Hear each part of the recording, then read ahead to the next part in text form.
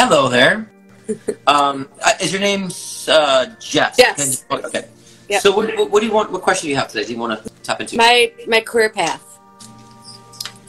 I feel very scattered on this question. Um, I, I don't know if you actually are in a state of passion right now or still figuring things out. Um, I do feel like hospitality might somehow come to your experience where you might find some sort of, you know, re- rewards mostly, but also financial rewards through that. I think you'll build this though. Okay. Um, you might even start, because it keeps showing like, you know, if either you start a catering company or you start a company to where you're actually providing some sort of functions and project managing. I just see that with you and doing well at that. Um, but it's like expanding with that idea of hospitality. Um, so I think that if you're kind of like, you know, scattered about the idea, I would kind of refine your focus on ways you can take that further um, and help being servicing people, not be of servicing, but servicing people. Okay. Um, so I heard event organizer, but all these little things keep coming to mind that I feel like you'd be really good at, you know, organizing, put things together in that way. It may start that you actually start a catering company to some degree, you know, in that direction. Um, but it seems like you're independent with it. So um, I wrote down detour, so it might be a slight detour on this, but I mean, you're going to realize that anyways. If I can predict it, just means you haven't realized it yet, that that realization will come and you'll start going that path.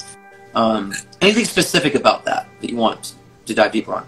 No, that makes makes sense. I'm kind of in a crossroads right now, so. Okay, but did, do you understand the hospitality situation Mhm. and all that? Okay, because I, I feel like someone's going to help you get into this, like start this, like either catering company, or something that degree, and I think being very hands-on, almost like having your own business with a partner. Okay. So, uh, time frame, I think that you know the the, the realization may uh, come about within six months. So I know it seems like a long time, but again, that will go very quickly because you'll be realizing other things, and it doesn't mean that you're gonna be at this stage for six months. It means that you're expanding, and in six month boom, then the idea manifests for you. Um, I know they're saying that you might have questioned about real estate. I don't think we're at this time, so I don't know if you questioned real estate. But they're saying, they're saying don't feel bad that you turned it down. It's just not right now. You're thinking because you're forcing yourself to do that. That's not really your space yet, but you will have investment properties in the future, for sure. All right. Anything All else? What about my love life? Do you see anything? Did you see anything? Currently, no, but let's look in the future. um, in this precise moment, no. But let, let me actually let me just tune in before. Um, okay, they're saying you haven't made enough space for it in your life. Um, they're saying that the the, the now or the the symbol they show is like you open the door and they close it really quick. You open the door and they close it. You let people in and shut them out. Comment down. So so there's a there's, there's a trepidation there. Um, let me see where that's coming from, so we can put that on the table and help you kind of get rid of that as well. Okay. Um, you've been burnt. You've been massively burnt, like taken, like like stolen from, burnt. I feel like so, like some either someone's literally stolen from you or really just take taken from you. You feel like taken energy, and I get that, but that's not everybody, right? So don't create that person with everybody because then you keep repeating that same trauma. You just push everybody away. Come to terms that you may have not been, you may have been a little careless about you know checking your corners in your life, and that you can make sure you're doing that now so you don't repeat being taken for again. Because man, I think you were taken for a ride and got burnt like this and dropped. If that makes any sense to you. Complete Uh, sense. Yeah, and so um, understand that's that, that's more reflection of them and reflection of how much you you allowed in in your life and what you didn't create for yourself.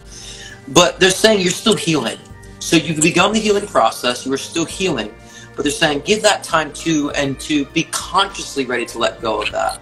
Um, to be rational, right? Because it's not rational. The ego says, okay, to have a relationship is to be burnt. The ego is in protection mode.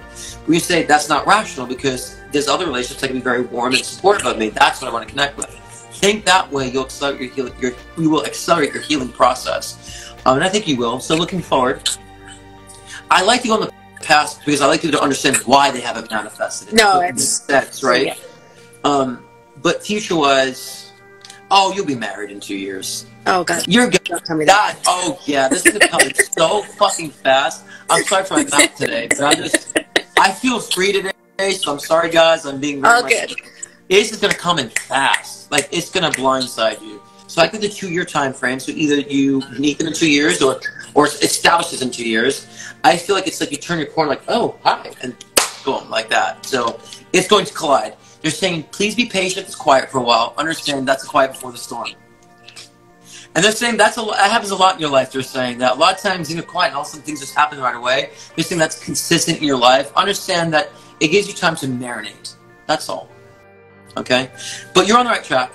You're on the Okay. right track. And these realizations, because again, if you were not, I would not see anything in your trajectory. Like I don't see anything. You got to do this. So the fact there's a nice array of, of events shows me that you are still doing things correctly as far as projecting desire and knowing what you want to do. So I want to at least give you that peace and knowing that yes, what you've also been pondering is also creating your future.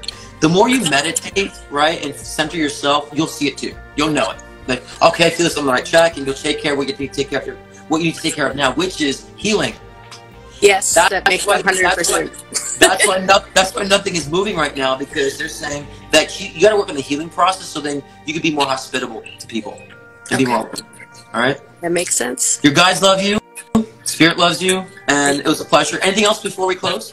No, thank you so much. I appreciate it. It was a pleasure to meet you. Thank